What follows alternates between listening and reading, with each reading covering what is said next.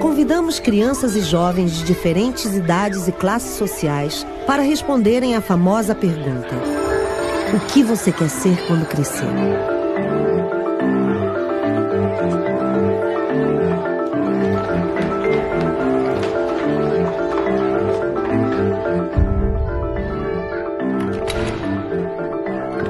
Ei, sejam bem-vindos, vamos sentar. O que vocês acham importante para ser advogado? Tem que saber defender bem os direitos. Acho que é a vontade de ajudar as pessoas, de salvar, de acolher. Gostar, ter cuidado com os animais. Ele traz uma energia muito boa, tipo o teatro, o cinema. Quantos anos você estudou para ser veterinário? Na verdade, você nunca para de estudar, viu? Então, vocês acham que escola você para de estudar? Você nunca para de estudar. Mas daí na faculdade são cinco anos.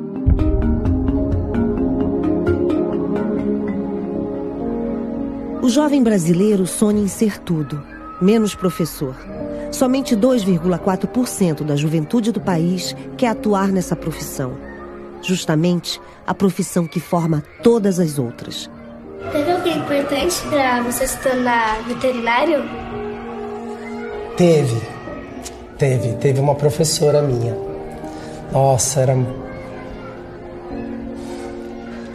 Que eu tive uma professora que foi muito especial. Uma grande professora que foi uma pessoa que me incentivou muito. Ela me inspirou a olhar para o outro, a ser uma pessoa consciente, responsável. Ela cuidava muito da gente. Parecia uma galinha, assim, com os pintinhos.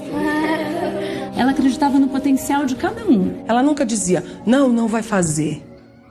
Ela dizia assim, ah, deixa eu escutar. Ou seja, ela acolhia a gente. Ela tinha o cabelo meio vermelho, assim, meio enroladinho. Uma mulher magra, que tinha mais ou menos a minha altura. Ela era muito sorridente, era uma pessoa com muita energia, sabe? Eu tenho dislexia.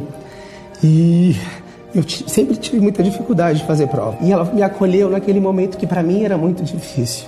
E foi muito legal. Como que era o nome dela? O nome dela é Alsônia. O nome dela é Alsônia. O nome dela é Alsônia. Alsônia.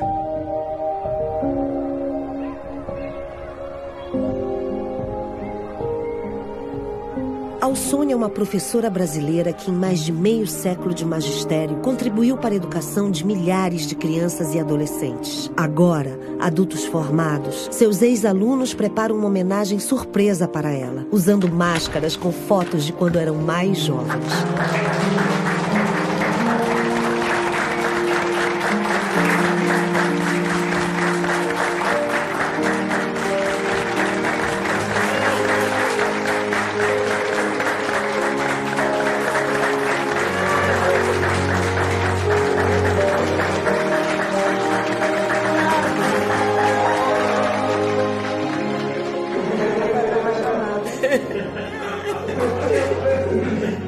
Queiroz.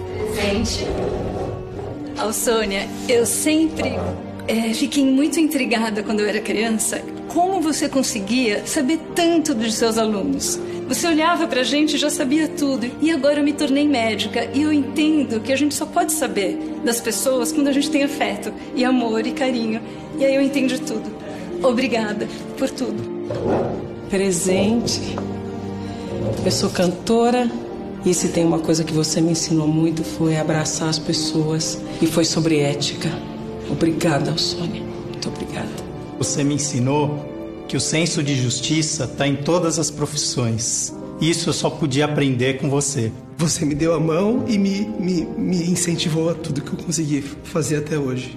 Obrigado. Muito obrigado. Muito obrigada. Obrigada. Obrigado, Fábio. Muito obrigada. Muito obrigada por tudo. Eu não me furto de fazer declaração de amor. Sem educação, educação séria, ética, de compromisso, amorosa, nada vai acontecer. Portanto, a gente tem que continuar valorizando essa educação, essa que torna possibilidade de uma vida melhor. Obrigada.